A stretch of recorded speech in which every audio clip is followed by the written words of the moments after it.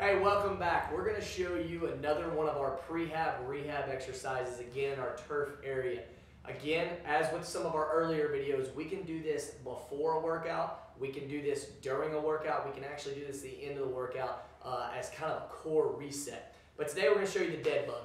The first progression of the dead bug is coach is just going to get in this laying down position. His knees are going to get above his hips. He's going to make sure that his low back is on the ground and his hands are reaching straight up. First thing we're going to do, coach just did it, we're going to do a semi-crunch to kind of tighten the abs up. From here, coach is going to extend one leg, flex that quad.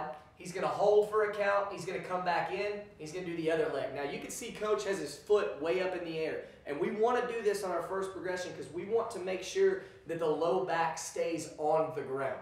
Okay? As coach progresses this and puts this lower towards the ground and lowers it, flexes and holds. This is harder because as he lowers that leg, his low back may have a tendency to come off the ground if he doesn't have good enough control of his psoas muscles, his hip flexor muscles, and his core muscles. Our third progression that we can do, I'm to dress coach, coach, or coach up a little bit here, is we can put one of these mini bands around coach's feet. Now, he will do the same thing, semi-crunch up, but now we're going to punch out and we're going to hold. The reason that this is a bigger progression or a more hard progression is now we're asking this hip flexor that's in to hold on a resistance as the opposite leg comes out.